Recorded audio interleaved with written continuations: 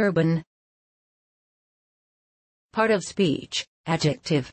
Two definitions. Definition 1. Related to the or any city. Definition 2. Characteristic of city life. Urban